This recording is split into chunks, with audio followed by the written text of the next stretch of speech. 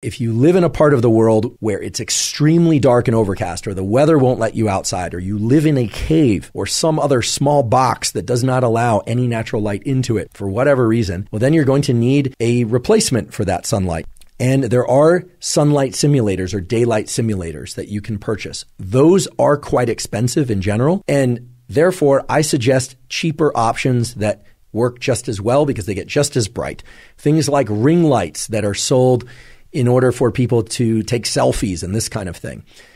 A drawing LED tablet will work pretty well. I actually have one of those and I put it on my desk all morning, even though I still get outside and look at sunlight first thing in the morning. Again, also, especially, I should say, on cloudy days. We do not have any affiliation to any ring lights or LED lights or these panels.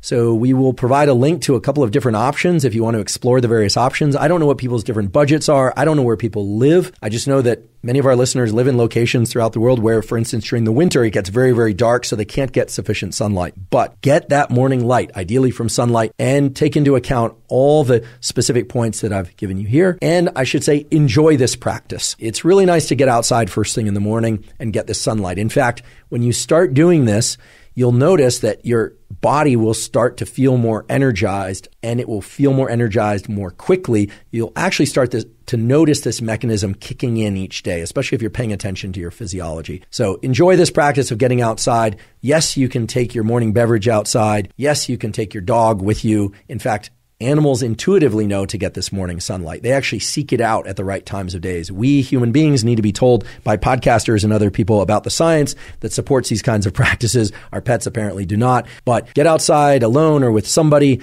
with your kids, with your dog, however you go about this practice, make sure you do this practice at least 80% of the days of your life. That's right. If you miss a day, for instance, you're bedridden for a day, try and get next to a window. Let's say you are traveling or for whatever reason you are not able to get outside first thing in the morning. Well, then try to get twice as much sunlight in your eyes, or I should say, extend the duration of sunlight viewing in the morning for twice as long the following day. This is a slow integrative mechanism that underlies this whole thing of wakefulness during the day and sleep at night due to sunlight viewing. And if you miss a day, you can make up for it the next day, but you have to get twice as much light or twice as much duration of light. If you really want to get technical and you really want to measure how much light is in your environment, you can download a free app, something like Light Meter, and that will allow your phone to act as a bit of a light meter. It give you a pretty accurate measurement of how many lux, which is a measure of brightness, are in your environment in the morning. And in general, that's just going to be a good tool for evaluating your environments. Here's what I suggest you do. Wake up in the morning, take light meter, point it at the brightest light in your home and take a measurement. And what you'll probably find is it's about a thousand lux. Now go outside and if there's some sunlight out and there's cloud cover, point it at the sky and press that button. You can actually hold it down and it'll give you a dynamically updated uh, lux measurement.